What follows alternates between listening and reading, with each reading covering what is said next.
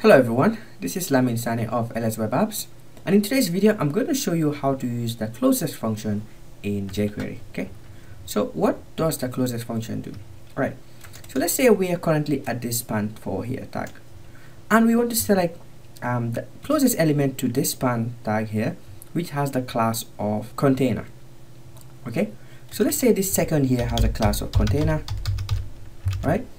But we don't we just don't want to select um, any container class because if we say give us container it will give us this one and this container here. But we only want the one that's closest to this span for here but it's in the hierarchy okay? So let's go ahead in our browser and see how we can do that. So first we're going to start by var.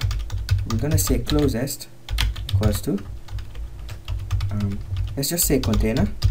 Just to show that when you select only container it should give you um, those two container elements. So now as you can see when we hover over it gives us the main container then it gives us the second container which is the p tag but we just don't want that all both containers we only want this one. So how do we select that? First let's say var span let's first select the span tag and we can say span 4 okay?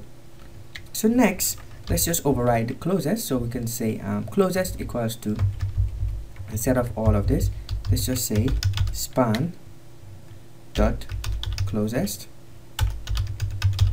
And now we can pass in a selector here. Say give me the closest container.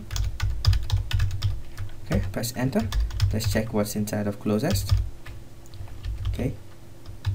So we spell that out. As you can see now the selection only contains the closest um, container to that span tag and not the main container okay so um, this closest tag, just know that it only works um, on the hierarchy of the current element. So if you have some other element here that has um, container, for example here, and you expect to um, select that container here, it wouldn't work because it's not in the hierarchy of um, the span tag that you currently selected. Okay, so it either has to be um, a parent or a higher parent of that element. Okay so um, that's it guys. That's how you use the closest function in jQuery.